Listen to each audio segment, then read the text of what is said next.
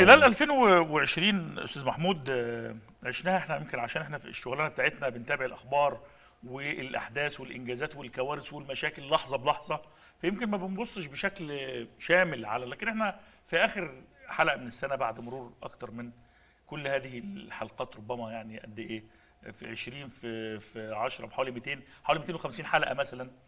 والواحد قاعد عمال في تفاصيل في تفاصيل تفاصيل لكن أهم ما يميز عام 2020 كان في أحداث مهمة جدا.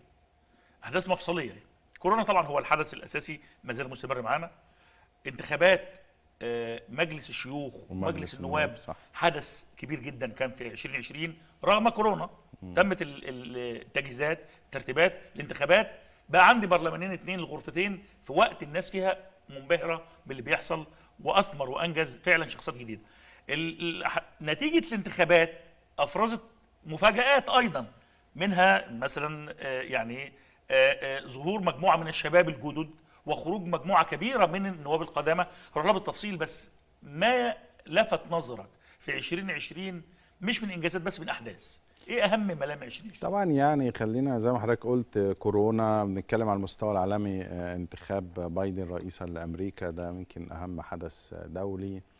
آه، في مصر أكيد الانتخابات هي آه، أهم حدث سياسي انتخابات الشيوخ ثم انتخابات النواب. لم لم يكن أحد يتخيل أن تتم هذه الانتخابات. حتى لما آه، أنا فاكر لما بدأت الشيوخ كانت الناس بتتكلم على فكرة طب ومستعجلين على إيه؟ آه. واخد بالك؟ لو ما كانتش تمت في الوقت ده كان صعب إن هي تتم. يعني إجراءها في حد ذاته إنجاز.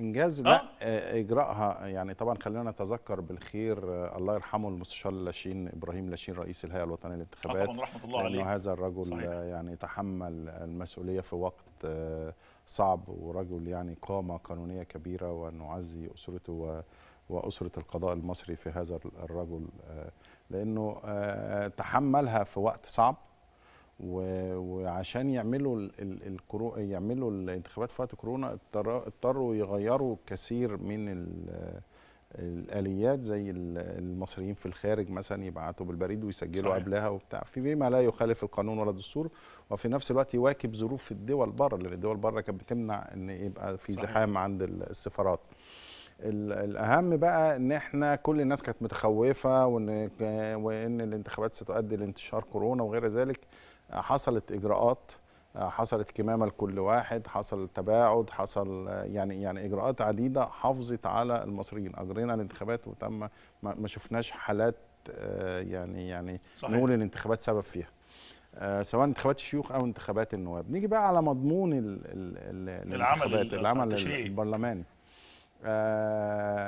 مجلس شيوخ آه، 300 عضو وقلنا أكتر من مرة ان إن وجود غرفتين دول مش بدعة يعني في دول كتيرة فيها الغرفتين كان في مصر قبل كده آه. ومجلس الشيوخ عنده فرصة حقيقية خلي بالك كمان انت انت أنت في الفترة دي ممكن نجي لها بعد كده أنت كمان خلصت آه، تغييرات رؤساء تحرير الصحف القومية ال- الهيئات الإعلامية كلها الصحف وده. كانت يعني يعني قرارات آه، تأخرت نوعا ما فتم إنجازها بشكل كبير. آه، مجلس الشيوخ زي ما قلنا غرفتين مجلس النواب آه، آه، غرفة آه، أو ال- الغرفة الأولى 600 عضو تقريبا أو ما يقرب من 600 عضو منهم حوالي 28% من السيدات. أول مرة في تاريخ مصر. آه دي نسبة لم تتكرر لم تتكرر.